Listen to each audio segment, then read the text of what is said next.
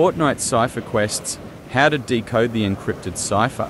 The encrypted cipher is a tricky one as the code doesn't make sense at first. The first of these encrypted codes is 1.17.23.9.14, 19.19.24.1.21.6. Earlier today, a post was quickly made and then deleted on Fortnite's Twitter account that read 03 102023, which is the end date for this quest. What you need to do is subtract each number in the Twitter code from the numbers in the quest code. When you reach the end of the Twitter sequence, loop back around to the start. Then take the subtracted number, and that corresponds to the letter in the alphabet. The answer to the riddle is Anvil Square. Put the first clue together with the second, and you reveal the message Inspect the wall beneath the eastern building at Anvil Square.